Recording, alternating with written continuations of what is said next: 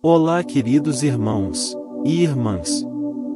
Que a paz esteja com todos vocês. Amém. Bem-vindo ao nosso canal. Grupo Orações dos Salmos. Neste vídeo, convidamos vocês a se juntar a nós na busca pela paz através das orações dos salmos, narrados em vídeos. Os salmos são uma coleção poderosa de textos que assim, o fizemos reproduzidos em vídeos sagrados, que trouxeram consolo e conforto a inúmeras pessoas ao longo desse trabalho.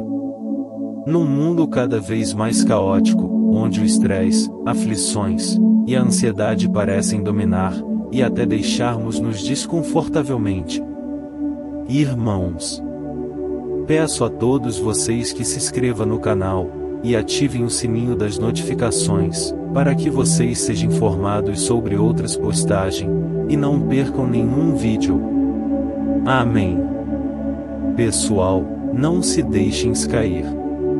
Venham encontrar a paz através das orações dos salmos. Narrações em vídeos. Dos capítulos 1 ao 150.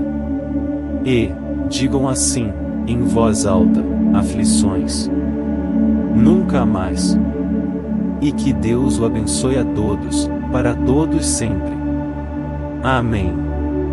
Eu sou o professor Fábio, junto com o irmão Gilmar e o professor Beto, criamos o grupo Orações dos Salmos, e estamos fazendo as leituras das orações dos salmos narrados em vídeos, para facilitar seus estudos, e para que vocês também saibam os significados de cada orações, e também saibam as interpretações, e assim, seus estudos ficam muito mais completos e com fácil entendimentos.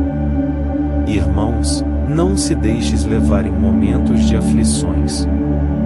Venham ouvir as palavras de Deus, leituras narradas em vídeos. E juntos, iremos abrir todos os seus caminhos e quebrar todas as barreiras que impedir vocês de crescer profissionalmente, pessoalmente e espiritualmente. Com Deus, seremos todos mais fortes, em nome de Jesus. Amém. E hoje, o faremos as narrações das orações dos Salmos 59, capítulos 59 para um novo dia, um novo amanhecer, em todos os nossos segmentos das nossas vidas, que assim sejas. Amém. O que quer dizer o Salmo 59 versos 16? Vejamos. Neste salmo, Davi nos inspira a iniciar o dia de uma maneira diferente, louvando a Deus e agradecendo-lhe pela sua proteção e ajuda nos dias de angústia. É interessante observar o que Deus representava para Davi. A maneira como vemos alguém determina a forma com que nos relacionamos com esta pessoa. As pessoas também perguntam: o que nos ensina o Salmo 59? Vejamos.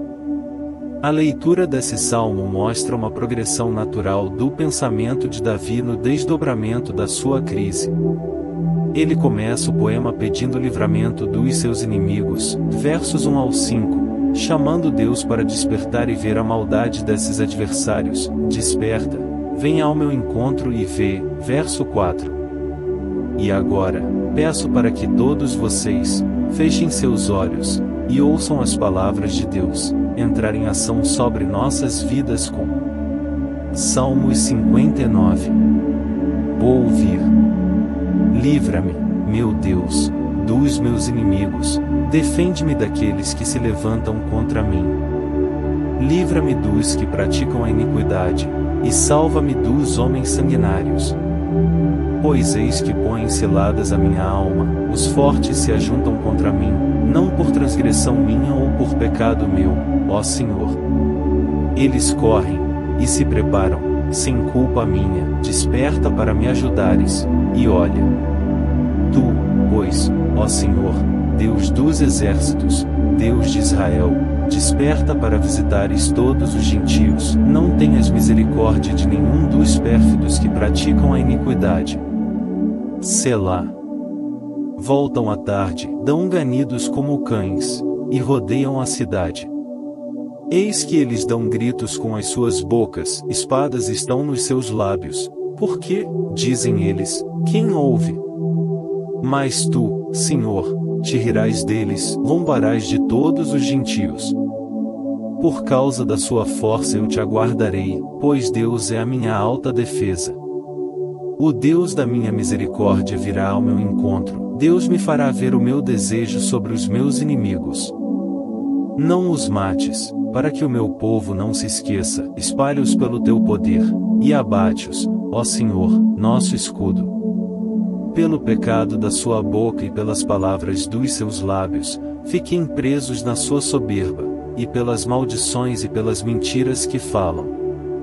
Consome-os na tua indignação, consome-os, para que não existam, e para que saibam que Deus reina em Jacó até aos fins da terra.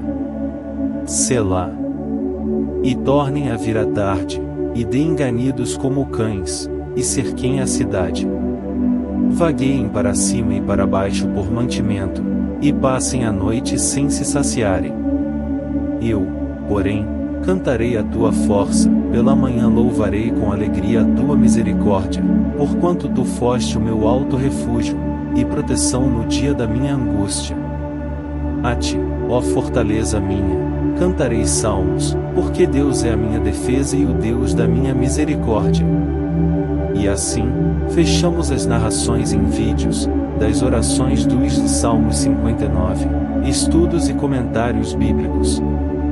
Pessoal, peço a todos vocês, que se inscrevam no canal no YouTube, e ativem o sininho das notificações, assim, vocês serão avisados, todas as vezes que fizermos uma postagens. Amém.